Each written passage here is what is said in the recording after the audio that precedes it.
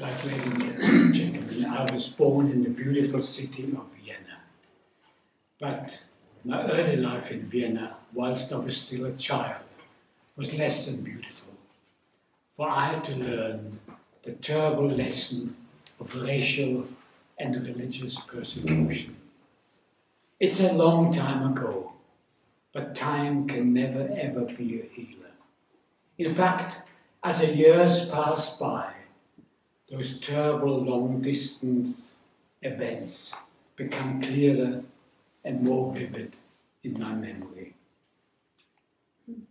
How can I possibly forget that day in July 1939? I was not yet 11 years of age when my mother and sister took me to the main station in Vienna, the Westbahnhof, for my long and momentous journey to England. I was a little bit confused why I was going. I was a little bit determined to be a grown man and not to cry, which was just as well because the station loudspeaker announced that there would be no passionate or sentimental farewells. What that meant was we were not supposed to cry. How can you possibly tell a child of 11 years of age not to cry, going away for the very first time from home? How can you expect a parent not to cry, knowing fully well that they might never see their child again. I put on a brave face. We men, I was with 11 years of age, quite a man. We don't cry, girls cry, but we men don't cry. I missed very much that last cuddle I could have had with my mother had I not been such a grown man. My mother turned her back on me because she knew that if I was to see her weep, I wouldn't be such a big man after all. And so, ladies and gentlemen, I remember this so vividly. The Westbahnhof, 1939, one week before my 11th birthday. But you noticed I haven't talked about my father. My father wasn't there. My father was no longer with us.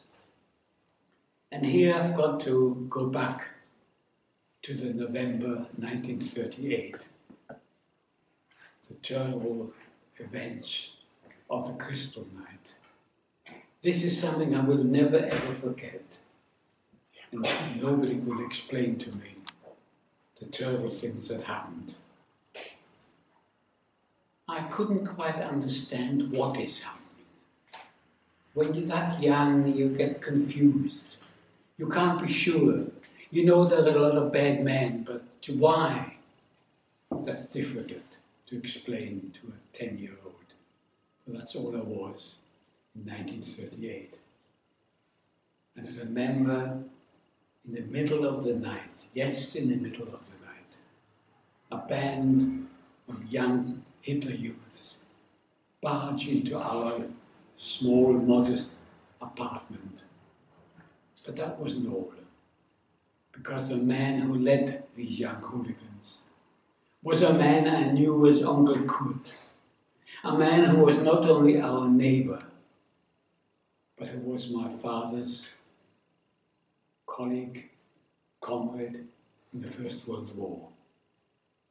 Kurt Kovac, that was his name.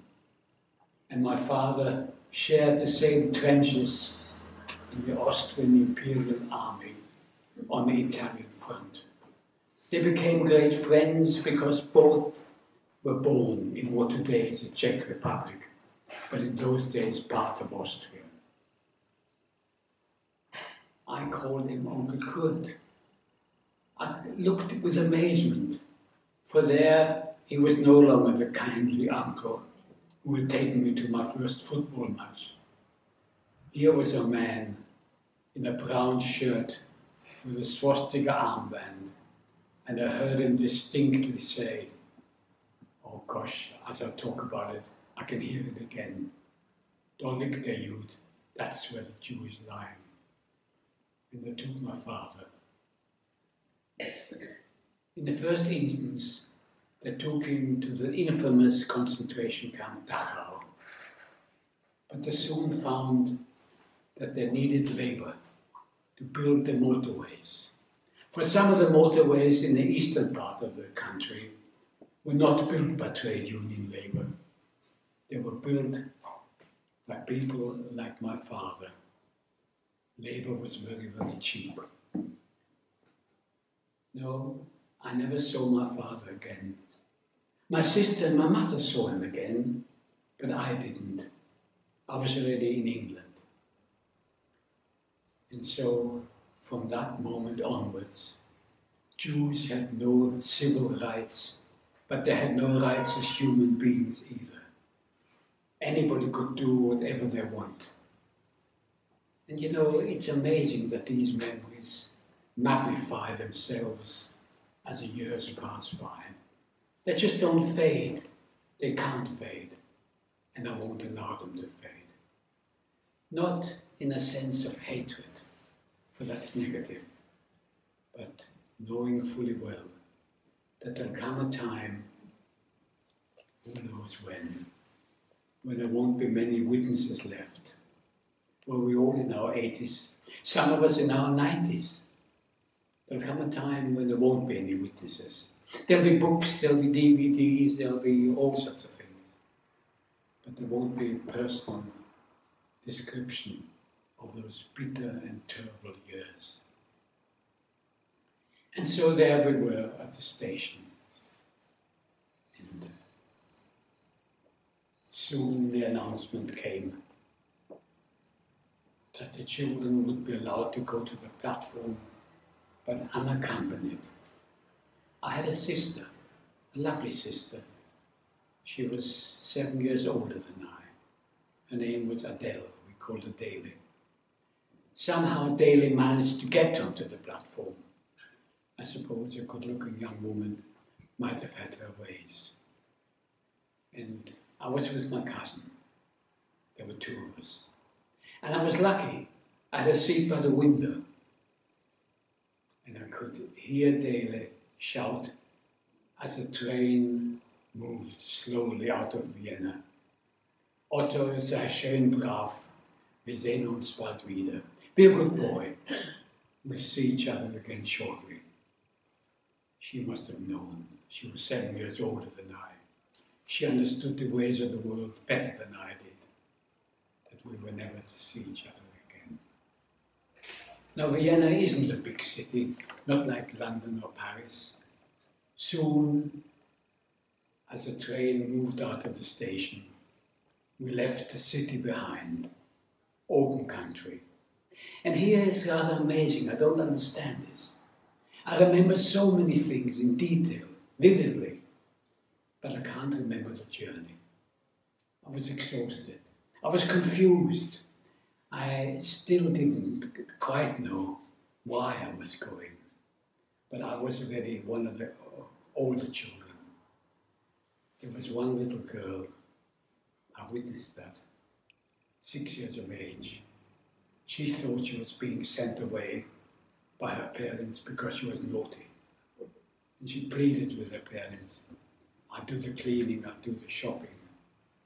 She couldn't have known that she was sent to safety like myself. And often I thank the Almighty that I, my mother had the foresight to send me away. And this is a good opportunity for us to be positive, to be positive about the many thanks we got for people. I will always thank my mother. My father didn't know much about it. I don't know how they treated him in Dachau. Not very well, I don't suppose.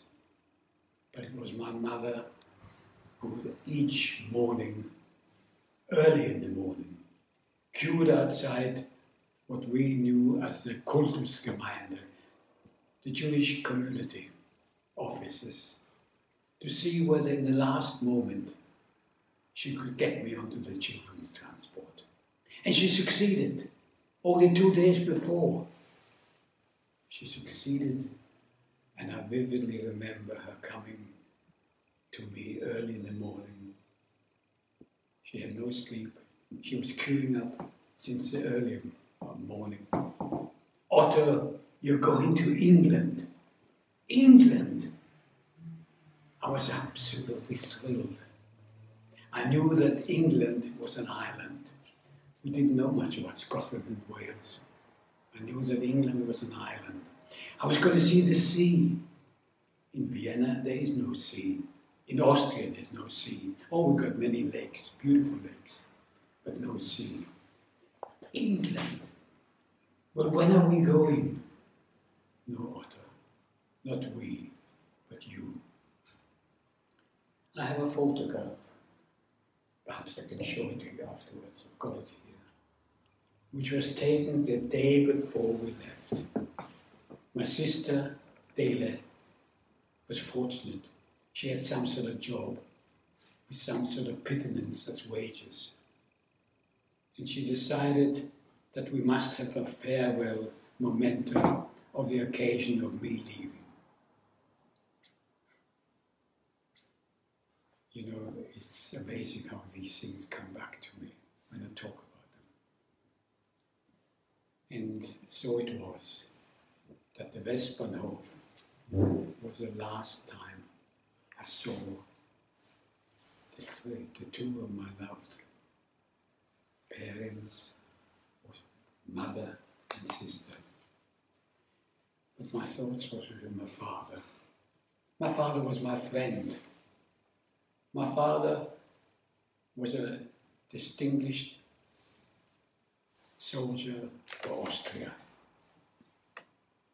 He received a decoration from a representative of the emperor. Remember, 1914, 1918, Austria was still a very large nation, a large but rather diverse empire. And he and Mr. Shushny, Mr. Kovac were like so many of them, unemployed. Each morning they would go to see if they could find work. The 10th district of Austria was not a Jewish district. Vienna had one of the most densely populated Jewish population in not only in Austria but in Europe, I would think. But not where we lived. There was a very small community, but a very close knit community, possibly because they were so small. And Kurt or as I called him Uncle Kurt, and his wife, Tante Maria. They were not only our neighbors, but they were our friends. They had a boy, six months younger than myself, Kurt Jr. It was natural that we were friends. We lived in the same council building. And the fact that they were Catholics and we were Jews didn't really come up in conversation. Why should it? In fact, for us children, it was good. We had the best, best of both worlds. For when Christians have Christmas, around about the same time, we have the Festival of Light, which we call Hanukkah.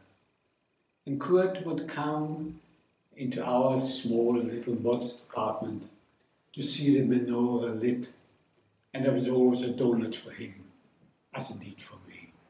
And likewise, I would see Father Christmas. I would see the candles being lit on the Christmas tree. For us children, that was marvelous. We had the cake and eat it, literally. And it all came to a sudden end.